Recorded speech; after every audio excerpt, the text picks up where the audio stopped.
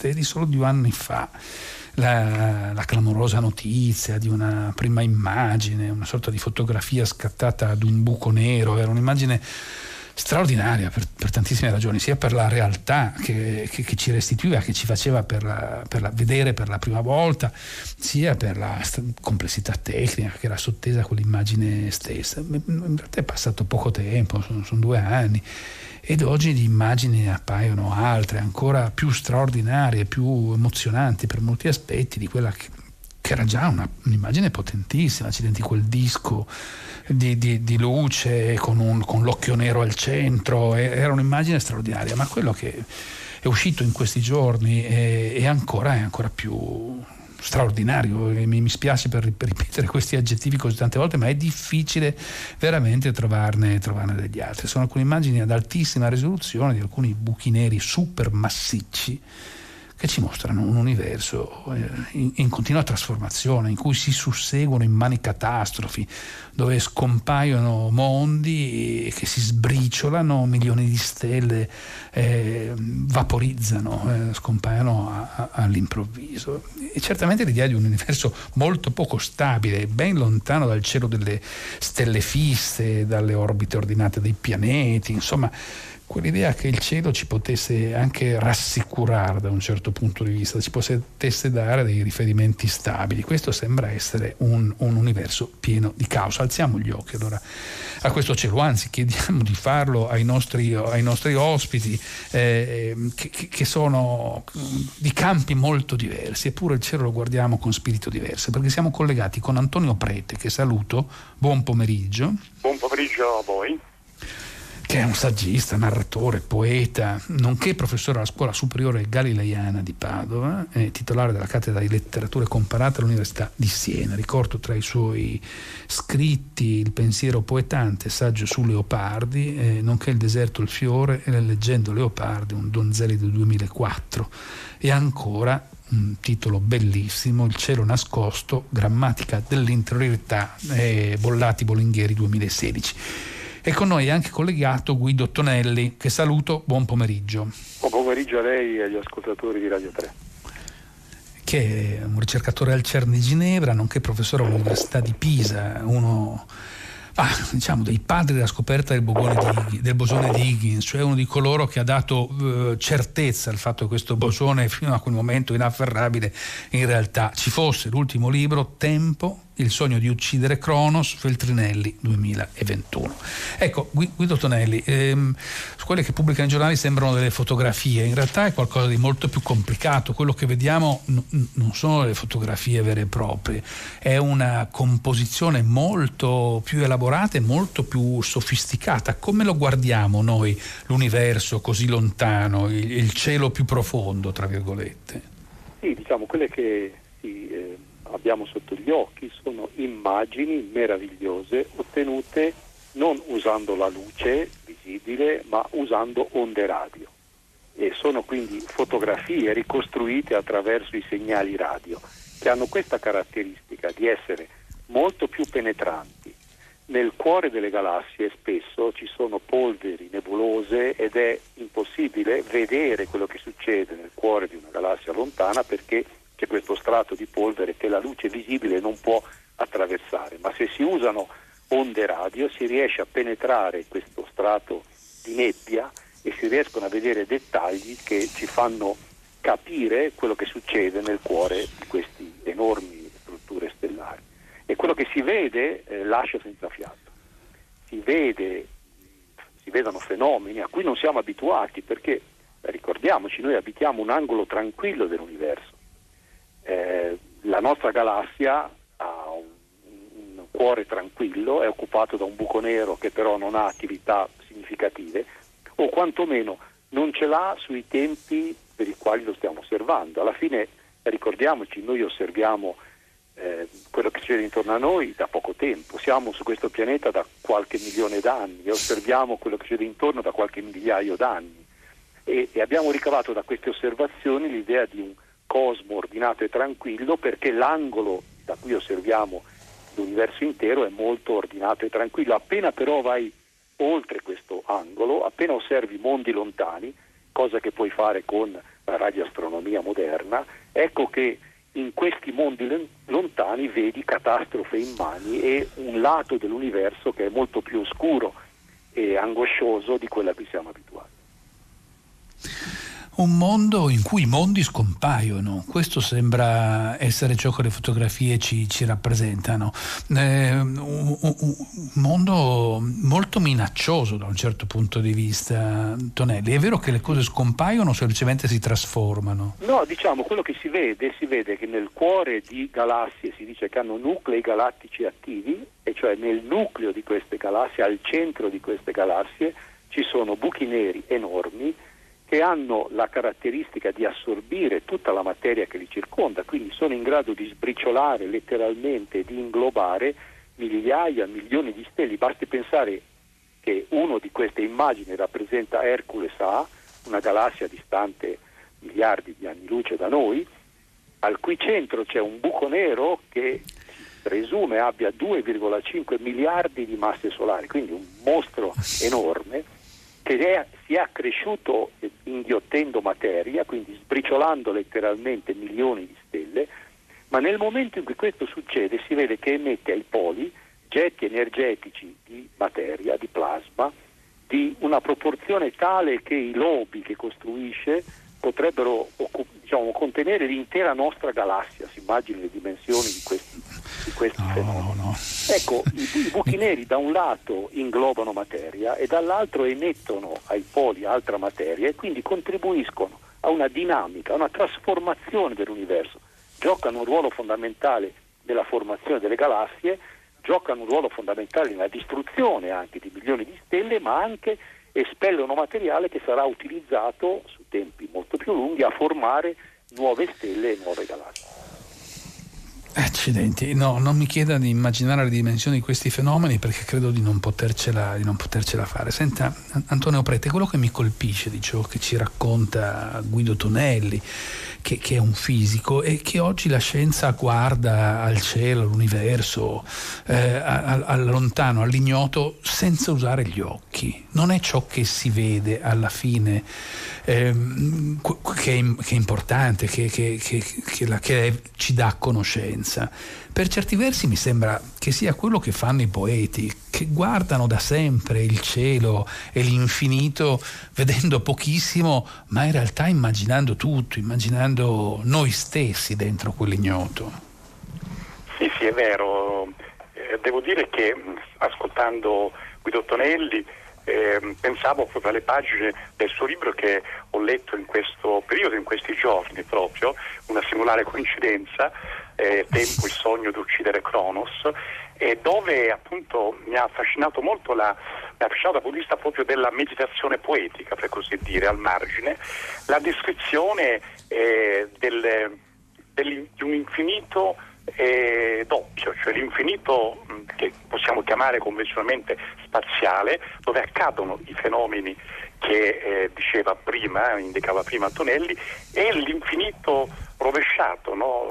l'infinitesimo, ehm, eh, dell'infinitesimo eh, che le particelle elementari eh, mostrano, dove appunto eh, anche lì eh, c'è un vuoto di tempo. No? Ecco, questa lettura me piace mh, mm, così per, per, come e per dove posso arrivare a intendere, piace leggere eh, qualche volta i libri dei fisici perché trovo che nel loro margine c'è la coincidenza con l'immaginazione poetica, cioè la poesia, come lei diceva prima, eh, ha da sempre contemplato no, il cielo. Contemplare è un verbo eh, del quale Vico diceva ma forse dell'origine, templa cieli, no?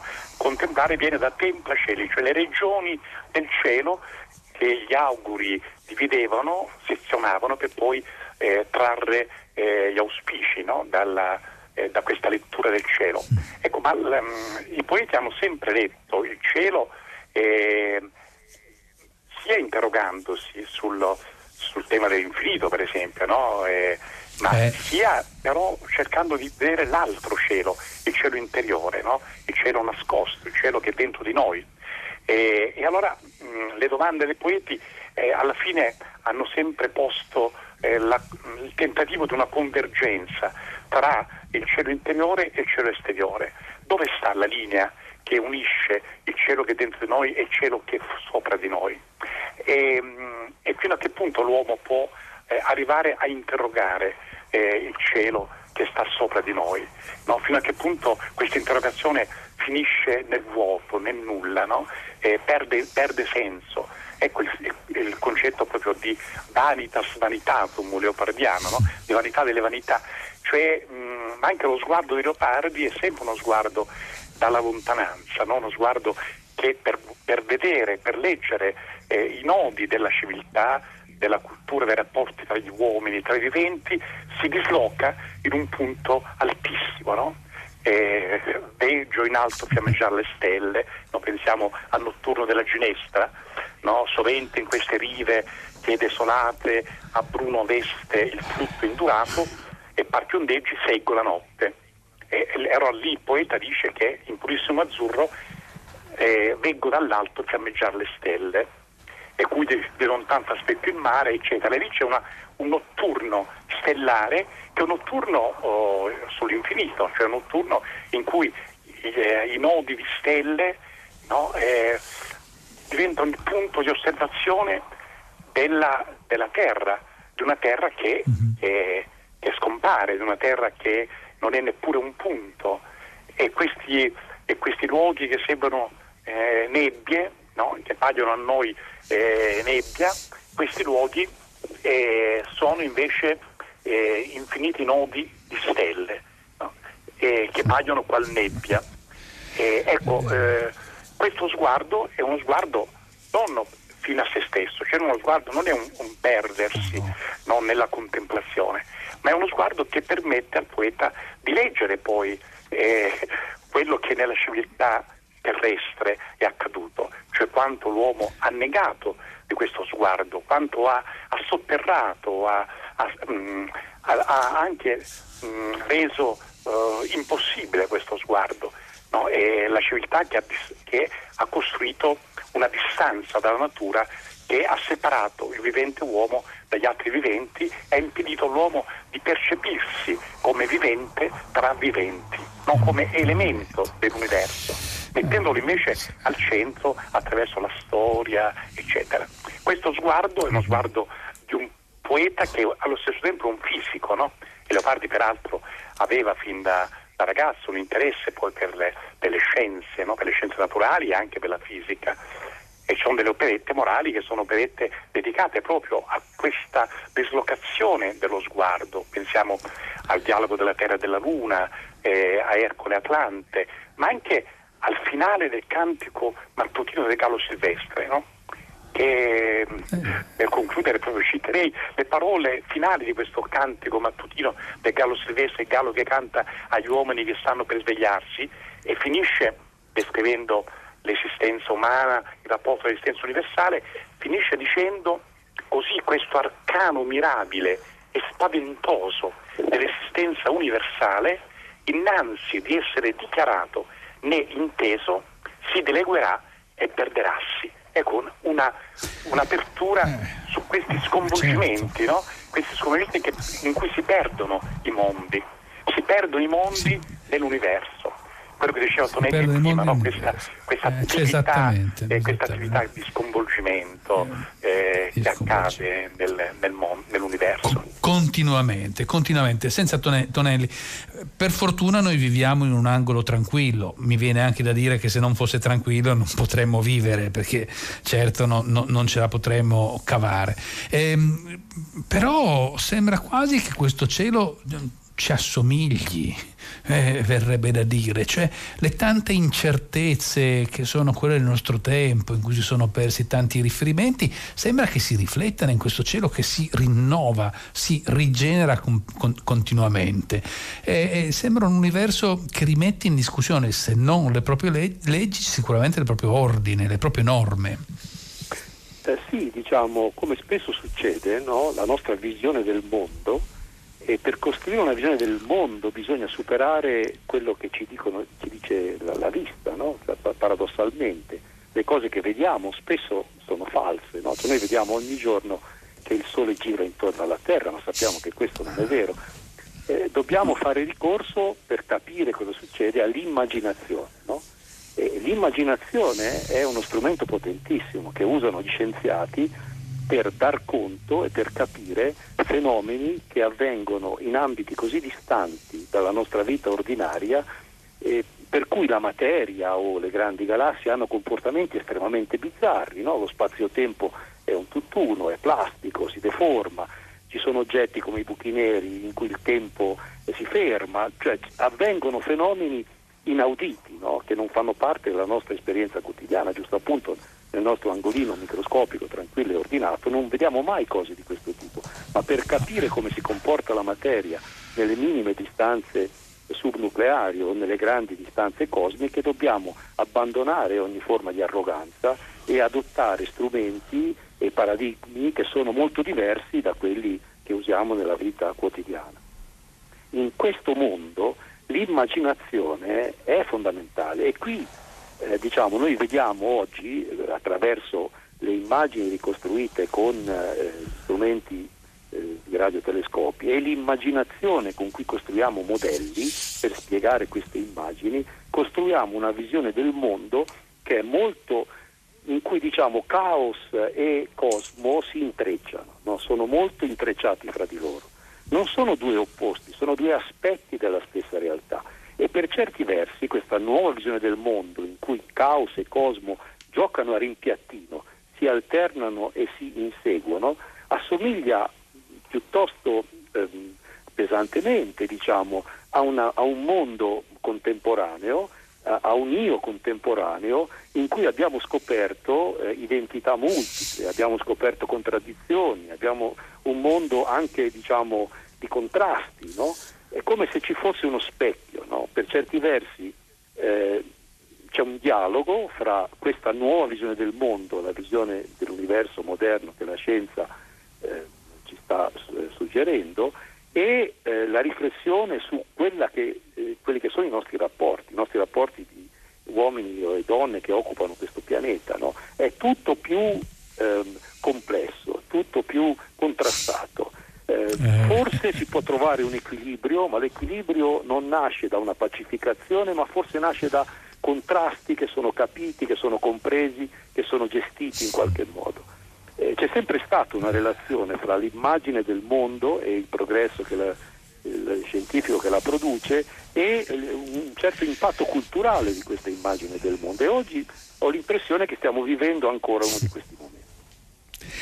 Eh sì, era proprio questo che in qualche misura avevo anch'io in mente. Mi sembra che ciò che andiamo trovando assomiglia a ciò che abbiamo eh, intorno a noi o diciamo che quello che vediamo lontano lo usiamo poi come modello anche, anche per quello che, che, che ci circonda.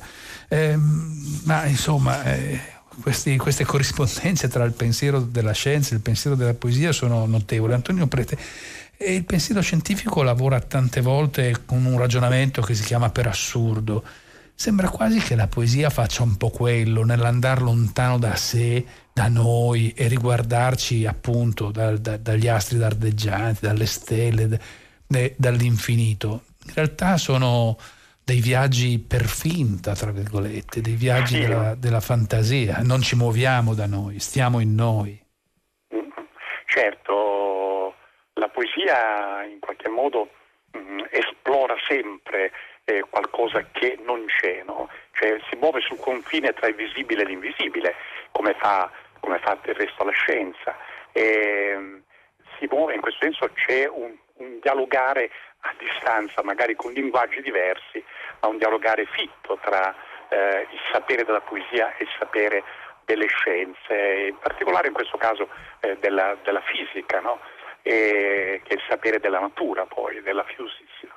E, e, la poesia spesso, no, pensiamo, anche ha avuto degli, dei momenti in cui eh, ha cercato di muoversi sulla su linea di una contiguità tra quel sapere uh-huh. della fisica e quel sapere, eh, del, quel sapere di sé, dell'uomo. No? Pensiamo da Lucrezio in poi c'è proprio una linea di ricerca poetica che attraversa tutte le culture, tutte le lingue, è una linea di ricerca poetica dove lo sguardo su di sé eh, si mette in relazione con lo sguardo sull'universo e, e l'uomo può capire qualcosa di sé se si pensa nell'universo.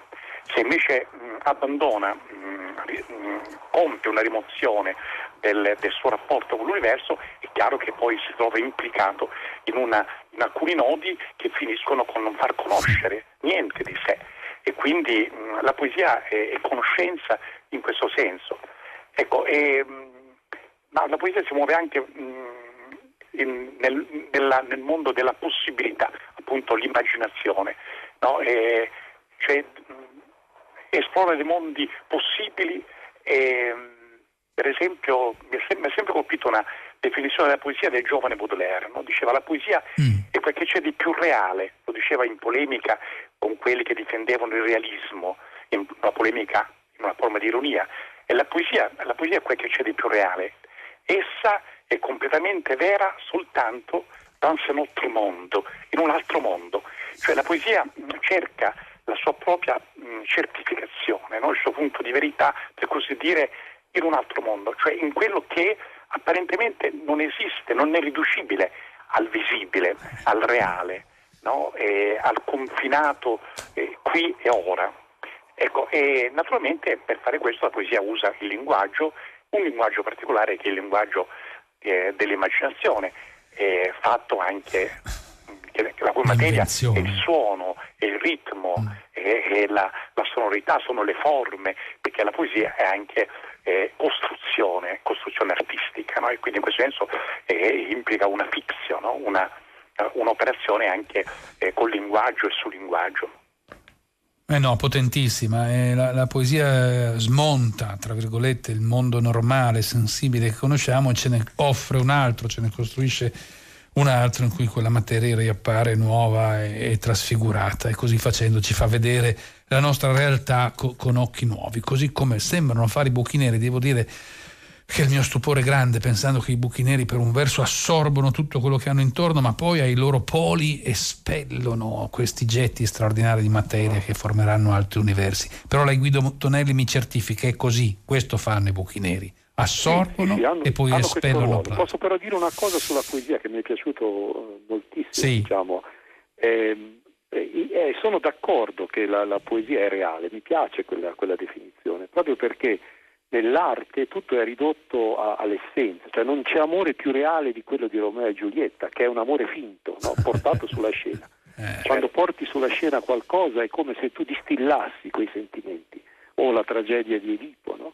E, e in questo, diciamo, mi piace questa cosa, mi pia- come mi piace l'idea che se, se non metti ordine no, al di fuori di te, cioè se non ti dai una ragione mm-hmm. dell'universo che ti circonda, non potrai mai mettere ordine all'interno di te. All'interno. Cioè, queste due suggestioni le trovo non solo molto corrette sul piano del pensiero e concettuali, ma anche molto vicine al lavoro che facciamo noi scienziati.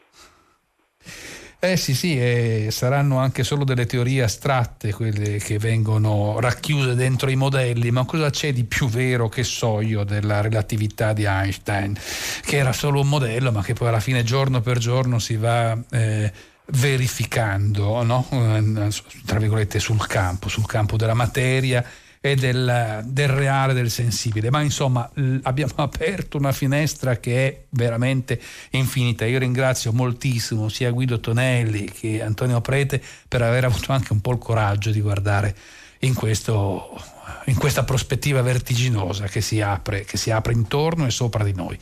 Grazie, grazie a Guido Tonelli, grazie, grazie ad Antonio grazie Prete. Grazie, grazie a voi.